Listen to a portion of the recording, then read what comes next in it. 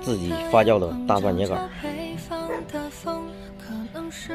发酵出来以后酸酸的，像那个腌制的糖蒜一样。打开看看羊的吃口怎么样？看看这羊的吃口怎么样？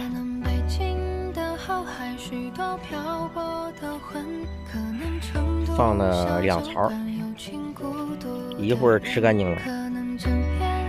这还是第二遍，第一遍已经喂过那个拌的精料了，拌的精料它那个花生样。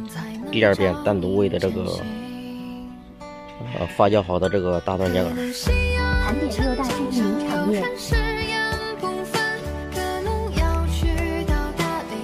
因为这个发酵好的大蒜秸秆还是比较酸，喂的时候还要给它放一点小苏打，防止酸中毒。